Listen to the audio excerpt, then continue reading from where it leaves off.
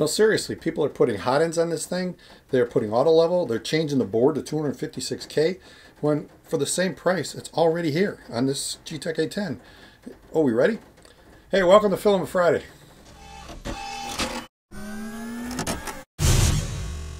It's the last day of the year, December 31st.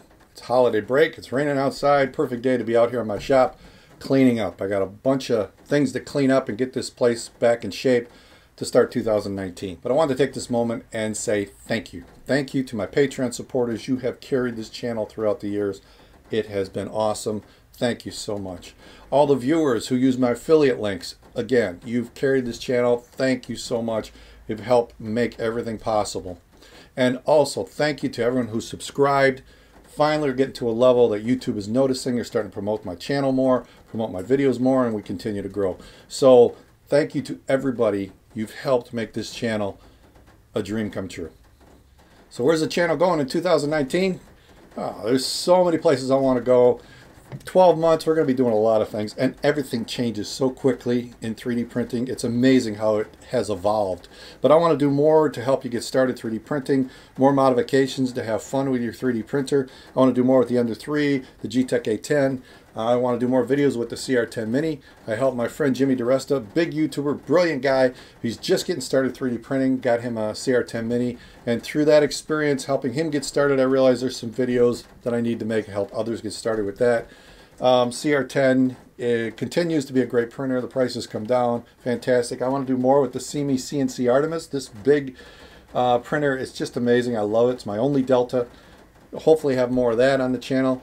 Um, it's just been a great, great experience. I still have my Prusa MK2. I want to do, you know, projects here and there with that. But the biggest thing is everything is changing and it's constantly changing. Take this guy, for example, these two. This is the Ender 3, probably the most popular printer right now, sub $200. A lot of people bought these for Christmas. Now they've been modifying them, putting new hot ends on it, putting auto level on it, now changing the circuit boards to put 256K instead of the 128. And that's a lot of work especially when you figure that all that is already basically here on the A10. This is a clone of this guy, but they've already put a hot end on here that has an all-metal heat break between the nozzle and the PTFE tube. Um, it's already got the wiring and a bracket for the BL Touch, so just buy a sensor, connect it, mount it here, connect it here, and they have the firmware. You can just download it and load it, and you're ready to go.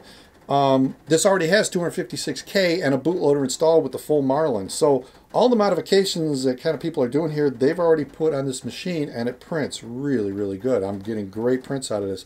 So you can just see how even this has evolved in a short time. I did a video comparing these things back in October for people to, you know, compare it before Christmas. And I can just see that this is going to grow as well. So the clones are even getting better. So here's where I ask you, what are you looking for from the channel in 2019? Let me know in the comments below. So that's it for this one. That's it for this year. I'll see you next year right here at Filament Friday where I know it's not Friday, but every day is Friday right here at Filament Friday. See you next year.